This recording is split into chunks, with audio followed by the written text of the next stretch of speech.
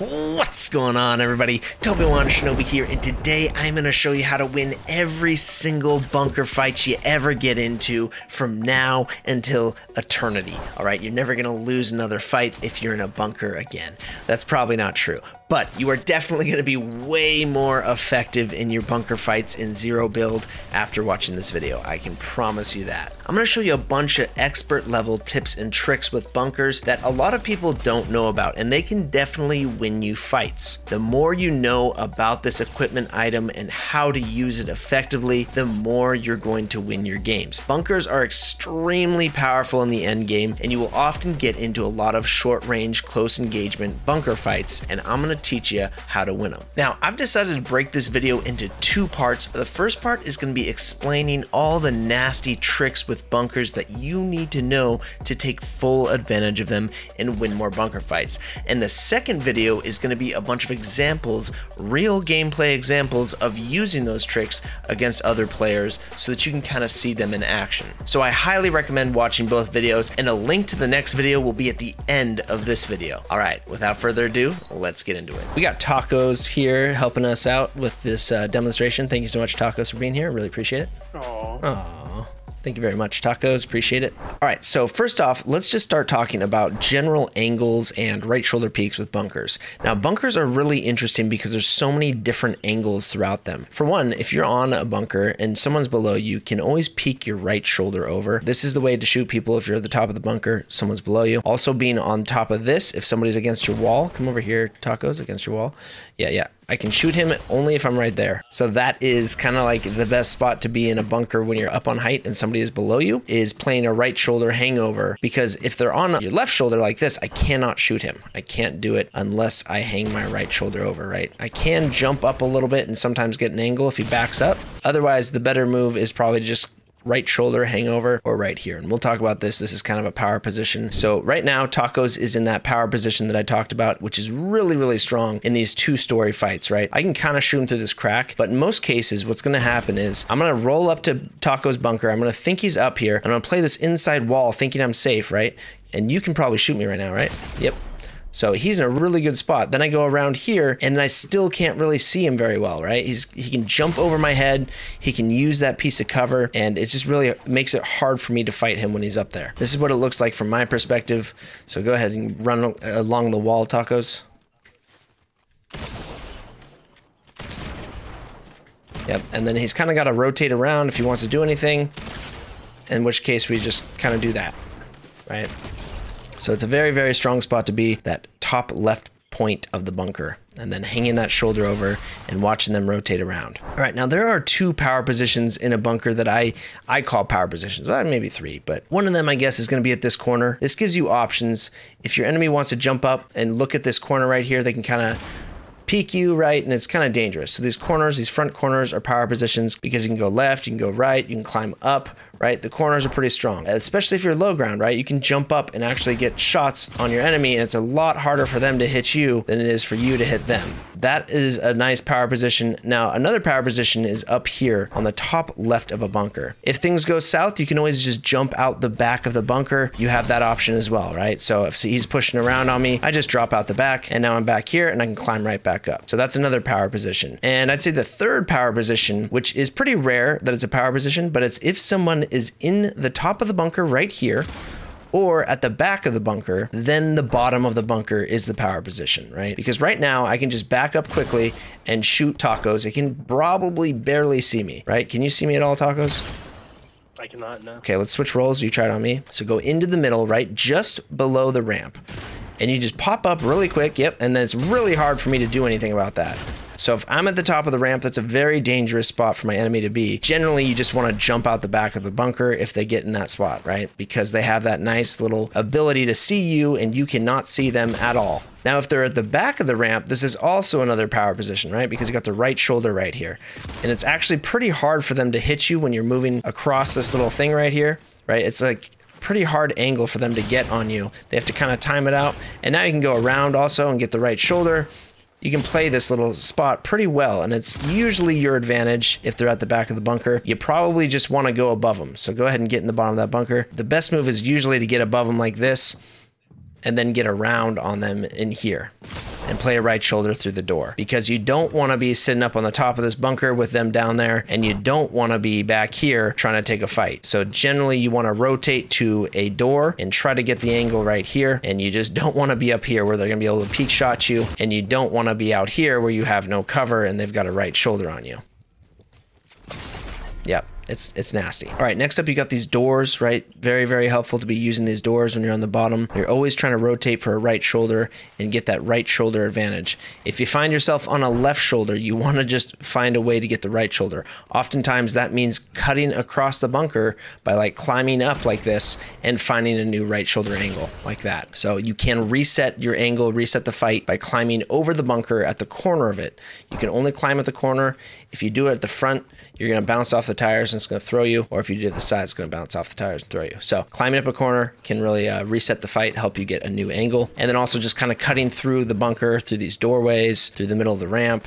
And you really, really want to focus on clean movement when you're moving through these things. Do not get caught up on stuff, otherwise, you will die. You have a very, very little room for error in bunker fights. So you got to be really clean with your movement and get through sp- spaces fast. So right there, I caught my edge right there, and that could probably get me killed. Somebody's usually right on your butt in these bunker fights. So yeah. Oh, just a quick note, you can always stack two bunkers by throwing your other bunker right on the front right corner and that'll stack up your bunker, right? All right, now let's talk about another subject with bunker fights and that is baiting. And I call it baiting because you're basically trying to get the enemy to do the thing that you want to do by like making them curious about your whereabouts, right? So a lot of times I'll just sit at the bottom of a corner of a bunker and just move around until they jump up and become an easy shot something like that, right? That's a bait. That's just getting them to do the thing that you want them to do. And it's fairly common in these bunker fights for people to kind of like think that they have the advantage with high ground or something like that. And you just kind of let them make a mistake, right? So sitting at these corners, you know, you can sprint around, make a lot of footsteps, and then just try to get them into a spot where it's bad news for them. We haven't found it yet. We're going to bust open this door. We're going to go under.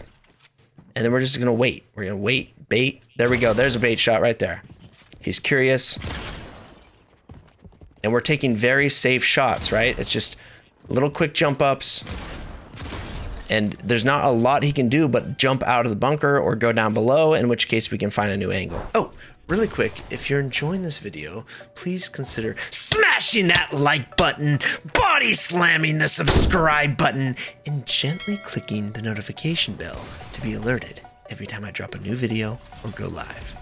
Thank you, my friend. Oh, and if you wouldn't mind using code TobyWanShinobi in your Fortnite item shop, I would greatly appreciate that.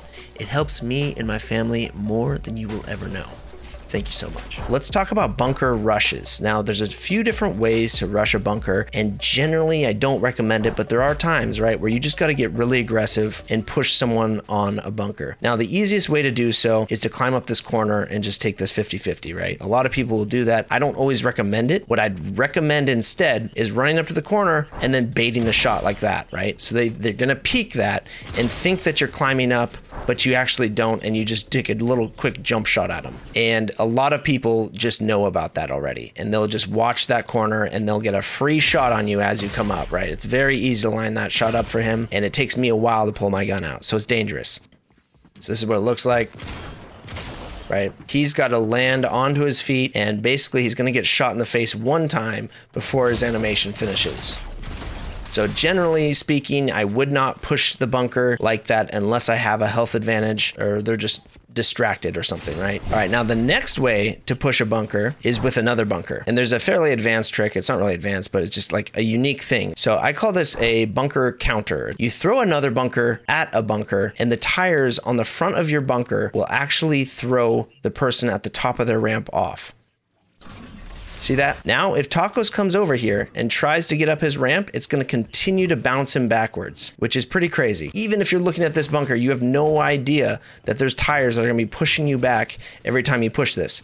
So it puts you at a massive advantage if you're on the right side of the bunker, the one who threw it down second, and they're going to try to fight you because go ahead, try to push me, Tacos, right? It throws off his aim. It makes it very hard for him to land shots and very easy for me to do so as long as I do not walk over his side and get hit by tires myself. Another way to do bunker rushes is maybe if the enemy doesn't have a bunker and you throw one down, what they really don't expect a lot of times is you to come flying out of it and just shoot them. You know, as they're rushing up towards the bunker, you usually can get a free shot. Again, this is pretty risky because you have a nice piece of cover. You should probably play it, but sometimes you can catch them by surprise. So go ahead. I throw. We're having a fight here. I throw down this bunker and I immediately go for this because who would expect someone to jump out of their nice piece of cover and just come right at you, right? All right, so the, another option is the bunker rush. You can jump into another bunker. Just say, like, for some reason, I didn't throw my bunker against tacos right now, which I absolutely should. Instead, you know, let's say I throw down a bunker right here.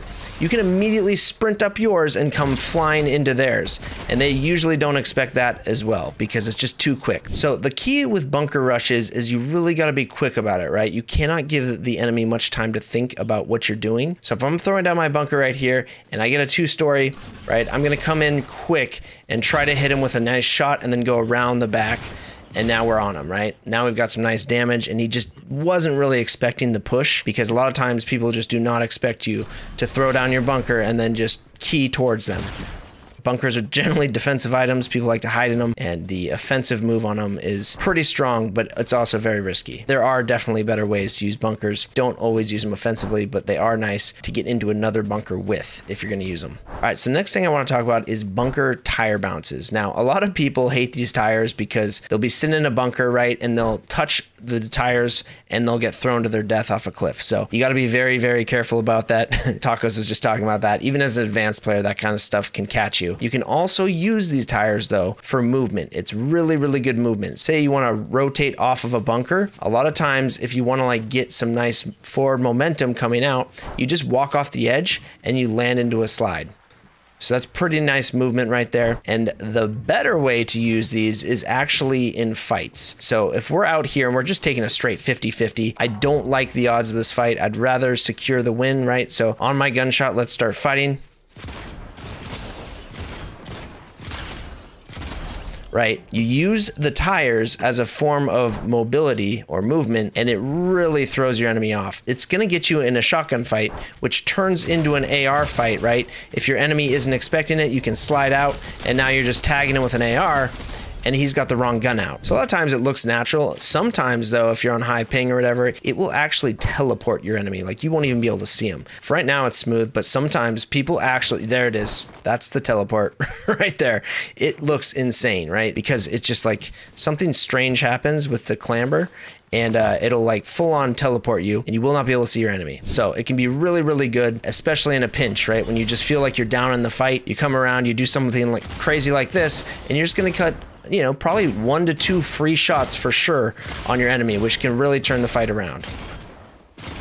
Now, really quick, I will mention also that there's some interesting angles in bunkers that you can get. Now, it's more dangerous for the person in the bunker actually to be in this position when somebody has this angle because you don't realize, but you can get headshot sniped through these little cracks. And uh, it's hard for me to actually hit you right now, but like a lot of times you will catch somebody and you'll be able to shoot through this tiny little crack right here. You can also shoot through these little holes if you had a sniper and for some reason somebody was static and just not moving, right? And you can get shot through those holes as well. So those little holes and these little cracks are pretty dangerous. You just got to kind of be mindful of them because you can get headshot sniped through them and that'll always take you by surprise. All right, now the last thing I'll talk about is kind of deception and uh, confusion with bunkers. A lot of times it's going to come down to moving around really quick, you know, being crazy, getting them to chase you, and then you go slow.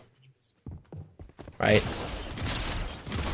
And then you just slow down the fight. They kind of lose you. They don't know where you're at because there's a lot of angles with bunkers. They could be in a lot of spots. Even though it's pretty small, there's a lot of places that they could be, especially with two stories like this. You know, there's a lot of places that your enemy really can go. They could be under the ramp. They could be like inside the bunker in these doors. A lot of different places they could be, right? So if you can confuse them, start opening doors, running around, jumping through doors, going above, right? And then maybe we just drop down. And then we just stop or we run over here and then we just stop. That's probably a pretty bad example. but you know what I'm saying? Like you just kind of get towards a spot where they wouldn't really expect you to just be hanging out, you know? All right, so there's doors opening. But he's running around under my bunker. I don't really know where he's at. And then I go ahead and stop. Okay, now it's like, where is he? Is he in here? Like what? Where is he? And then right there, right? He could catch me off guard if he had the right angle. That's the idea, right? It's kind of running around, confusing your enemy until you get a nice little shot on him. And a lot of that is going to be through visual and just making a lot of noise, right? Opening these doors is definitely always kind of a confusing thing for people. They think you're coming through the door if you open it. And yeah. All right, so that is pretty much all my tips and tricks for bunkers, at least that I can think of right now. Now we are going to move into actual gameplay examples. I'm going to be showing you those tips and tricks in action in actual gameplay. So you're going to see how I apply all my bunker tactics in real gameplay. We're going to have a link to that video at the end of this video. It's going to be bunker fight examples. But really quick before we jump into it, please consider liking this video. It really helps me out. Using code TobyWan Shinobi in your Fortnite item shop and checking out my must watch playlist for Fortnite Zero Build if you haven't already. All right, guys, thank you so much. I'll see you in the next video.